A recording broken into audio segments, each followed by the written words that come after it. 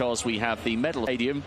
It's the rest of the Ethiopian delegation to an epic race over six and a quarter miles. And of course, in the long jump area of takeoff uh, positions for the long jump pits.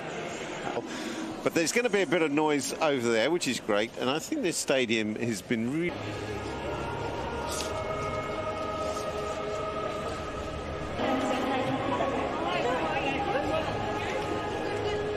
The medal in brutal conditions. Two proud East African nations coming out. Athletics president, Lord Sebastian Coe, and Paul Tergat. What a many epic battles with his great rival and friend, Haile Gebrselassie. To receive them, Lord Sebastian Coe to give him his full neck straining, an iconic moment for British athletics fans, and the brilliant Brazilian Joaquim Cruz in 1984 in LA. Marathon champion Jacob Kiplimo did his very best to take it oh rewarded with a marvellous bronze medal. Time in Olympic history that Ugandans have shared the podium, and it's also the first and a quarter miles. The silver medalist is the world record holder and the world champion, G20.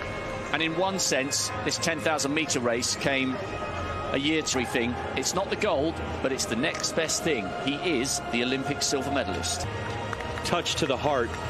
It means everything to that guy, and he's got world records. But that he can go there to France knowing he's already claimed a medal. Selemon Barega adds his name. Mirat Yifter in 1980, Haile Gebrselassie in 96 and 2000. Migration with 300 to go. He was not to be caught, and he creates a little Peter. And still, just the age of 21.